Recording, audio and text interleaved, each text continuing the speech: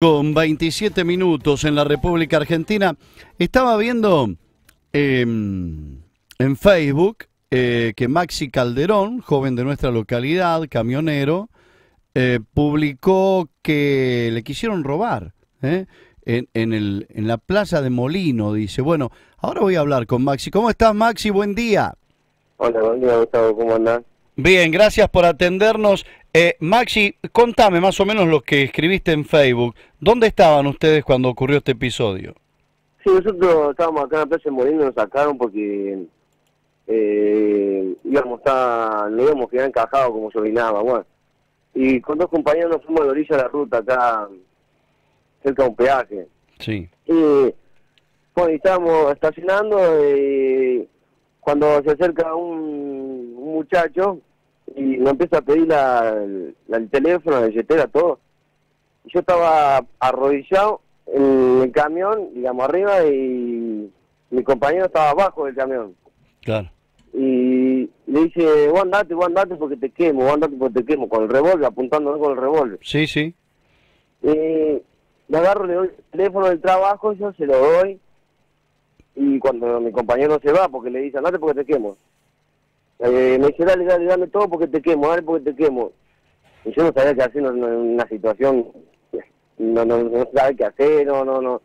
Es un susto bárbaro. Claro. Eh, cuando él agarra y me dice, cuando me dice, dale, dale, porque te quemo, yo agarro y le digo, mira, mira, ahí viene mi compañero. Cuando él se da vuelta, yo salto del camión, le pego una patada y salgo corriendo, pierdo la zapatilla, no sé, no, no, no sabía dónde meterme, no había ningún policía, nada, Nada. nada, nada. Salí corriendo y quería meterme en algún lugar y no había nada cerca para meterme en ningún lugar. Claro. Y él se levanta la bici y se va. Sí, Pero, sí, sí. eh, fue una situación, digamos, Es la, Muy- la, la primera vez que te pasa esto, ¿no? Sí, la, la, la verdad que, que me apunten con el revólver así fue la primera vez. Y están vez. expuestos ustedes, lo- los camioneros. Bueno, hace poco hubo un episodio muy triste, eh, también con un camionero que, que lo mataron. Eh, en ese momento habrá sentido una impotencia tremenda y, y desamparo, porque no tener siquiera un policía cerca, un lugar donde meterte, imagino que ha sido horrible, ¿no? Claro, claro, porque yo salía corriendo, eh, salí corriendo y no sabía para dónde, iba, sal- salía en contrario de, digamos, para atrás, y, y se había escondido adentro del camión, y, y yo también estaba asustado que yo. Claro. Yo quedé solo ahí a la- en el camión, y yo no, no, no sé si cómo se me ocurrió, no sé si del mismo susto hice eso, fue un momento de locura que yo quise, lo hice para poder salir de ahí, para poder salir. Y corría sin, sin saber dónde meterme, nada, nada, nada, no había nada cerca para meterme. ¿Joven el delincuente, Maxi? Sí, sí, sí, joven, unos uno 28, 27 años, sí, sí, joven, joven. Acá me mandan un mensaje, un WhatsApp, dice, preguntale bien dónde es, en cerca de Rosario, ¿dónde es, eh, Maxi? El molino, afuera del molino Río de la Plata, eh, cerca del peaje, Sí, eh, y hay una playita, digamos, a la orilla de la ruta. claro. Y, Eh, y- y digo, los camioneros, bueno, que están expuestos, como decíamos antes, que ya hay robos todos los días, eh, no, no tienen manera de defenderse, de que alguien los escuche, de que la policía eh, eh, tenga más presencia allí en el lugar, porque este tipo de informaciones uno las ve todos los días, Maxi. Claro, claro, sí, si ellos quieren Gustavo, sí, porque nosotros cuando eh, cuando pasó eso, eh, volvimos, volvimos donde estábamos, y le, avisamos a la policía, viene, yo le digo, mirá, le digo, me pasó esto, esto y esto, le comenté el lugar, eh, la situación, y el lugar, y me dice, bueno, ahí voy, llamo, ahora se manda el patrullero. Salieron, pero vos salieron, pero a paso de tortuga, Sí, sí, eh, no, no, no, fueron y volvieron, fueron y volvieron porque fueron, eh, pasaron y al ratito volvieron a pasar, no, no, no, no hicieron nada, se fueron porque yo le avisé, no, no hicieron nada, nada, nada. Claro, porque uno a veces piensa eh, si vale la pena, ¿no? Estás arriesgando la vida y, y la verdad, vos viste que por ahí la gente habla de los camioneros, uh, que los camioneros esto, el camionero el otro, el camionero es un tipo que labura, está todo el día arriba del camión, lejos de la familia, sacrificándose y encima tenés que lidiar con estos delincuentes, no, no hay derecho. no, ¿no? la, verdad que, que- que es muy, muy, muy impactante también. te lo comenté en Facebook porque um, había gente en Rivilla, que estaba Juan, estaba el Cosaco, eh, había gente en Rivilla acá y quiero que lo sepan porque esto está, se está poniendo muy muy peligroso, muy, muy, muy bravo se está poniendo todo esto.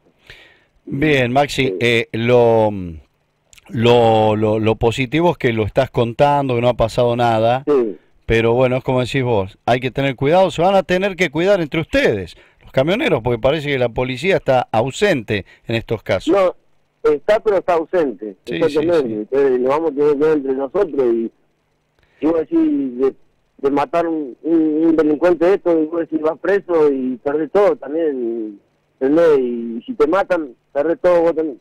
La ciudad siempre perdés, acá arriba la, la, la verdad que la ciudad siempre perdés. Yo no, yo no Claro. pensé que era tan, tanto así.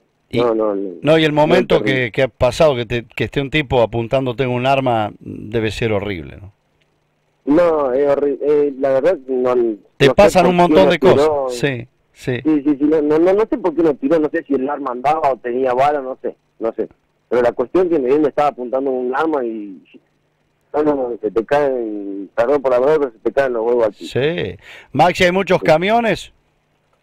Sí, hay, hay, hay muchos camiones y acá está lloviendo y volvimos al lugar. Claro. Y tenemos que... Ahí, vienen, nos vienen a sacar, nos quieren sacar porque nos podemos llegar a quedar encajados y nos quieren cobrar una multa si nos quedamos encajados. No, No, una tenemos cosa- otro lugar, adentro del puerto, adentro no nos dejan entrar. Es una Porque cosa de re- loco. No, no, es de terrores. Es una cosa de locos y, y bueno, la gente ahí, los, los encargados de, de la descarga, porque en definitiva ellos hacen fortuna, ¿no? A costilla del esfuerzo del camionero que le lleva el cereal y tienen que brindarle por lo menos seguridad. Seguridad o que nos dejen entrar en una playa. Estamos retrasados esperando que nos manden una carta de porte, pero que nos dejen entrar adentro. Pero seguro, Mm. seguro. No, nos sacaron afuera, nos sacaron afuera y a las dos, a las dos y media, una de la mañana nos vinieron a avisar y si salgan a, a la orilla de la ruta o al peaje, porque se van a quedar encajados y si se quedan encajados le vamos a tener que cobrar una multa porque no sé, no está la pala, no sé qué. Encima, encima. Sí. Son Sí, unos sí, caraduras, son unos caraduras. Eh, bueno. Maxi, eh, muchísimas gracias. Bueno, ojalá no sea más que una anécdota fea, pero anécdota que, que no vuelva a suceder y que anden bien, ¿eh? Todos. No, eso espero, eso espero. Muchísimas gracias, Gustavo, por dejármelo contar. eh, eh, muchísimas gracias. No, por favor, estaban todos preocupados acá en Inrivilla, así que, eh, bueno, eh, me alegra poder mm, escucharte esta mañana, que estés bien y saludos ahí a todos los muchachos de la localidad que están esperando para descargar. ¿eh? Un abrazo, Maxi. Bueno, no, muchísimas gracias, Gustavo. Muy bien, 9.35 minutos en la República Argentina. Qué cosa, ¿no? Nunca vamos a llegar a entender eso. Nunca, jamás. Eh, lo sacan para que no se encajen, si no salís y te encajaste cobran una multa.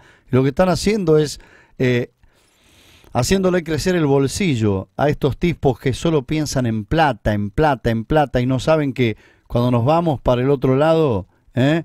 Eh, suena duro y, feo, pero el cajoncito, ¿eh? sea de una madera o de otra, tiene las mismas medidas, ¿eh? poco más grande, poco más chico, pero de, de esa no salvamos nadie y no hay plata que valga. Y hay gente que vive pensando en la plata y le importa un carajo lo que hace el, y perdón por la expresión, el trabajador, en este caso el camionero que está lejos de la familia, todo el día en la ruta, llevándole no cereal, dinero a estos vampiros atorrantes, que no les importa nada porque camionero es un número nada más para ellos. Me voy a Córdoba con Gerardo